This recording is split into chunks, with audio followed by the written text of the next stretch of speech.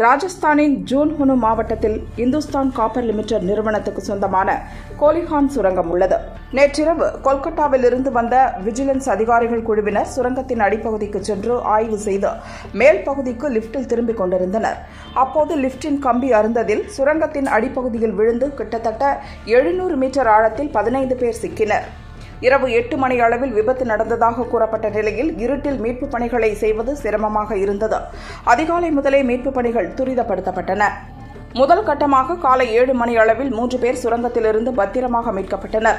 முதலுதவிக்கு பிறகு அவர்கள் ஆம்புலன்ஸ் மூலம் ஜெய்ப்பூர் மருத்துவமனைக்கு அனுப்பப்பட்டனர்.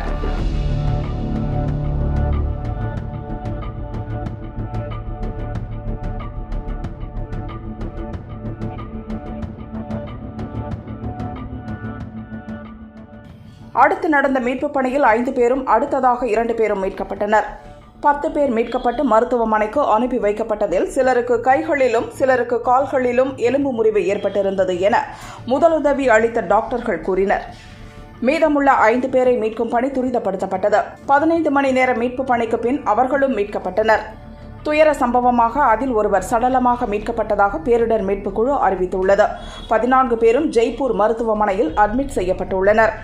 பெரும்பாலும் பலருக்கு கால் எலும்பு முறிந்துள்ளது தொடர் சிகிச்சை அளித்து வருவதாக டாக்டர்கள் கூறினர் விபத்து குறித்து விசாரணை நடந்து வருகிறது लोगों को निकाला है अब बाकी उनका स्टेटस तो मेडिकल चेकअप टीम कर रही है ए, कहाँ इनको लेके जयपुर लेके जाया जो जो जयपुर रेफर किया है और डॉक्टर्स ने जयपुर भी रेफर किया है अभी जो- जिनको लेके आया गया है तीन घायल वो सभी मतलब घायल भी नहीं अभी स्टेबल हैं किसी को भी क्रिटिकल इंजरीज ऐसी नहीं है सबको यहाँ पे एडमिट करवा दिया गया है। और जो वहाँ से भी आ रहे हैं वो कंटिन्यूसली जैसे रेस्क्यू होते जा रहे हैं वैसे एंबुलेंस उनको लेके आती जा रही है। तो भी एंबुलेंस आने वाली है।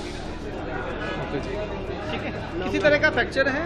हाँ जी पैर में फ्रैक्चर है मेजरली सबके पैर में फ्रैक्चर है एंकल फ्रैक्चर है टीबिया में फ्रैक्चर है।